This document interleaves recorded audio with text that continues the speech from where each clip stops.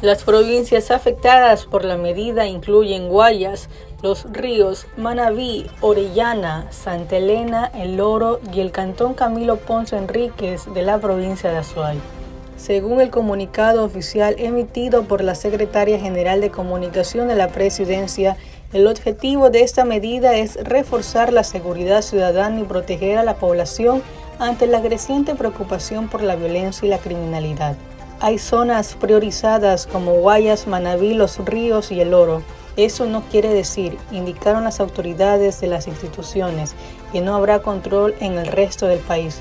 Únicamente hay estrategias diferenciadas. La policía informó que alrededor de 46.000 efectivos estarán destinados para las labores de seguridad durante los cortes de luz. Corresponden al eje preventivo, investigativo e inteligencia. Los patrullajes, sobre todo preventivos, se focalizarán en sitios de riesgo, como entidades bancarias, zonas residenciales, centros de privación de libertad, entre otros. Los ejes viales también tendrán controles específicos. Los uniformados, tanto en patrullas como en motos, también recorrerán las calles para que las personas ingresen a las viviendas. Para Última Hora Ecuador, Hilary Maruri.